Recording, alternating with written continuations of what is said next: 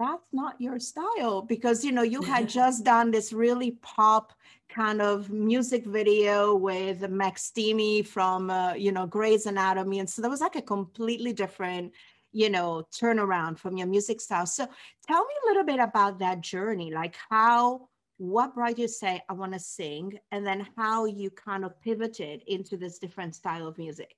Oh, wow. That's a that's a big question to unpack. Really it was up to, you know, God, the universe, whatever you want to whatever you want to say, um, to decide my fate for me. I don't think that I really decided it. I think that it was really a matter of, you know, putting myself out there in every single way artistically that I possibly could. And then one path just fell into place. So I, you know, I started performing. Um, my one of my mentors when I was younger um, was a woman named Corky Hale, and she is the piano player for Billie Holiday and the harpist. And her husband uh, was also an amazing mentor, and he uh, is Mike Stoller of Leiber and Stoller, who wrote every famous Elvis song that there is, Smokey Joe's Cafe. Um, so those two really took me under their wing, and she was like, Are you out of your damn mind? Stop doing pop. You need to do jazz.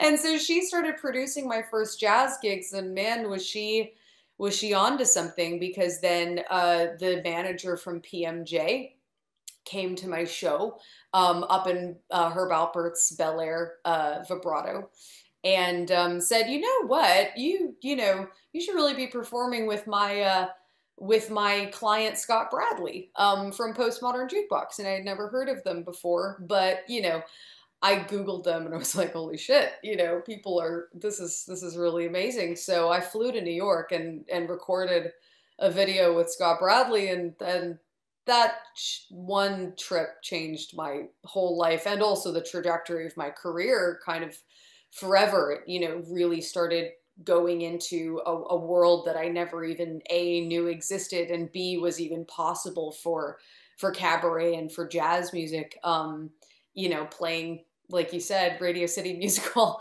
with with a with a cabaret, you know, vaudeville burlesque show. It just I never thought that that was even a a reality for me. So, so to answer your question, yeah, I mean, it all started from you know me just being an indecisive idiot, not knowing what to do with my life, and, then it working out for the best. That is amazing. Did you yeah. was that the time when you were inspired to write your new album that just dropped, or did you write this before, or was it a pandemic oh.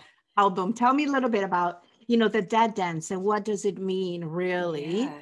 Um, I'm all ears you know, people need to hear music and they need to have something to feel happy and to feel, you know, to, to have a soundtrack to their lives right now. And for me, I called it the Dead Dance uh, because for me, that song and, and that whole album is about making light out of darkness, you know. And for me, that's always been what music and especially cabaret is about, you know, because cabaret obviously its its roots are are are quite political um, and and very dark. Um, cabaret in its infancy was certainly something that was used as a mechanism to sort of you know take the the most horrifying circumstances that people were going through um, at that time, especially in Germany.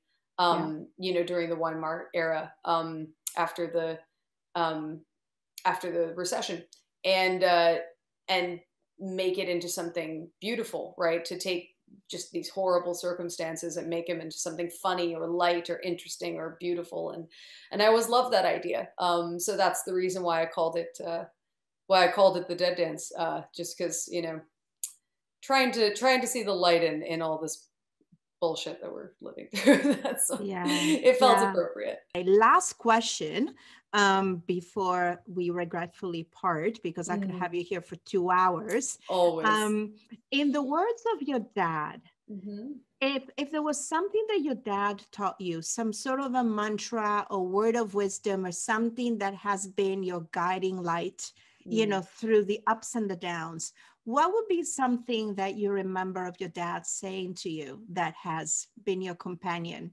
in every moment of your life? My mom has has taught me a lot of things about the way that my father thought and the way that he felt and lived his life you know through her i've been able to experience those lessons that he wasn't here to give me. And I think probably the biggest lesson and the biggest comfort um, that I ever got from my father is it's never too late. It's never too late. Ever, ever, ever, ever, ever. My father was almost 40 when he was cast in his first movie.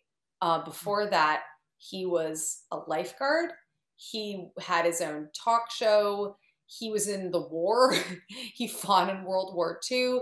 He had been married and divorced, had children. He had a, a theater that went under. He had lived so many lives before you know and and honestly i kind of kind of i see that in myself as well because i've had such a you know a journey that hasn't been linear um, and i think that a lot of people are like that. I think that there are more people than not that start out doing one thing and then they go do something completely different and then they do this and they do that and they at least they have the courage to keep going and seeing what it is that really works for them. And you know, it wasn't until my father was in his 40s that he even really became the Telly Savalas that anybody knew. And, you know, even in your 40s, it's like if you're in your 50s, your 60s, I, I always hear, especially from women, um, that I know that say, "Oh, I shouldn't be wearing this. I'm too old for this." Or I'm like, "Bullshit! Like, what? Where? Where does it say any of this?"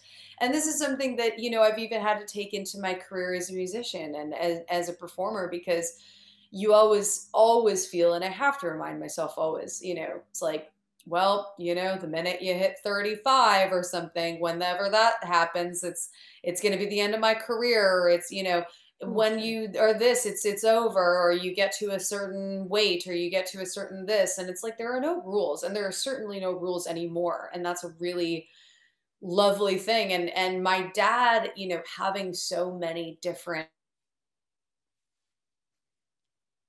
I think of that in myself as something that was a curse because I just couldn't make up my damn mind. And I was just so in, in and I realize actually that it's a blessing because it it you know it takes courage to keep going and to keep trying and to keep experimenting and to keep you know and also to you know give the big middle finger to anybody that says that it's too late for you to do anything or it's you know you're too old for this or it's like he became a sex symbol at 50 i mean it's just not you know there are no rules and he was never a person who the rules apply to. So we think that that for me has always been not only a comfort for me but for my friends as well when they are in those places in their career where they're like, I'm not where I thought I'd be by 30, or I'm not where I thought I'd be by 40, or whatever these age milestones. It's just like, look at my dad. Look at my dad. He had a, you know, he had a, a 18 lives that he lived before he became the famous, you know, actor Telly Savalas. There's no rules. You know, it happens when it happens, and whatever is going to happen is